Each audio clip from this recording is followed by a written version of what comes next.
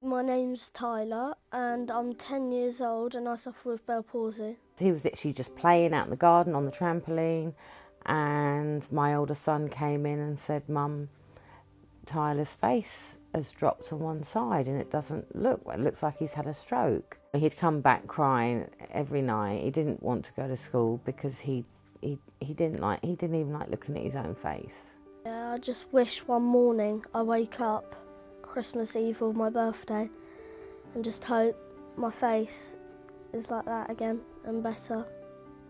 That'd be the best Christmas or birthday present ever.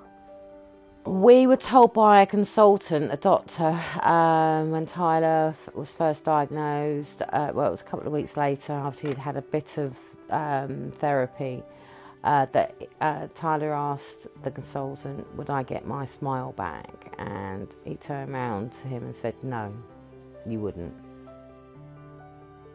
People did look at him and us differently, you know, um, and it was very hard on him to take that in as a, you know, and, and still is.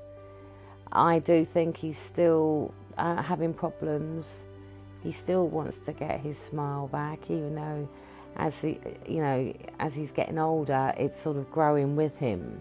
We've been doing this thing on the iPad, and um, you would smile at it, and um, it had different facial expressions, and so he would move the mouth up a little bit and say, "Is that how you would like it?" And I would say yes. And this app, I think, would be great. It would be a great present to have for Christmas.